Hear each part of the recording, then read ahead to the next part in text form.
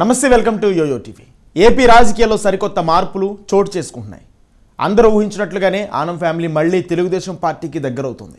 YCP MLA మాజీ మంత్రి ఆనం రామనారాయణ రెడ్డి కుమార్తె కైవల్యారెడ్డి తెలుగుదేశం జాతీయ ప్రధాన కార్యదర్శి నారా లోకేష్ను కలవడంతో రాజకీయ వర్గాల్లో చర్చనీయాంశమైంది.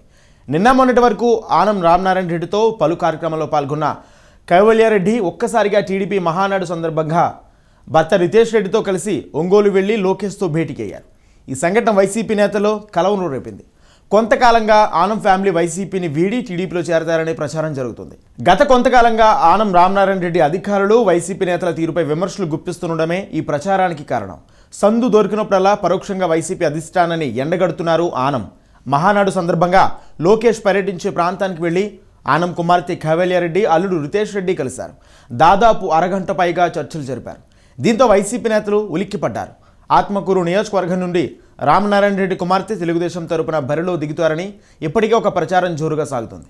అందుకే చంద్రబాబు ఆత్మకూరుకు పార్టీ ఇన్ఛార్జిని కూడా నియమించలేదని చెబుతున్నారు. ఈరోజు ఆత్మకూరు తనకు కేటాయించాలని లోకేష్ను కైవల్యారెడ్డి కోరినట్లు సమాచారం. ఇక త్వరలో ఆమె ఆత్మకూరు బాధ్యతలు చేపట్టనున్నారన్న టాక్ నెల్లూరు జిల్లాలో జోరుగా నడుస్తుంది. కైవల్యారెడ్డి ఆనం రామనారాయణ రెడ్డి కుమార్తె అయినప్పటికీ తెలుగుదేశం పార్టీ నాయకురాలు మాజీ ఎమ్మెల్యే బద్వేలు విజయమ్మ కోడలు. ఆ కుటుంబం ప్రస్తుతం టీడీపీలో కొనసాగుతుంది. కానీ పెళ్ళైనప్పటి నుంచి ఎప్పుడూ టీడీపీ కార్యక్రమంలో కైవల్యారెడ్డి పాల్గొనలేదు.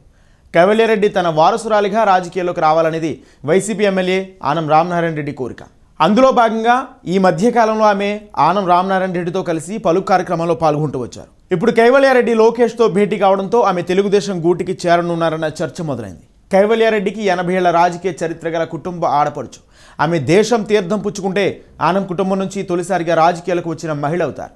ఆమె పుట్టింది కూడా రాజకీయ నేపథ్యమే కావడంతో కైవల్యారెడ్డి లోకేష్తో భేటీ కావడం ప్రాధాన్యత సంతరించుకుంది.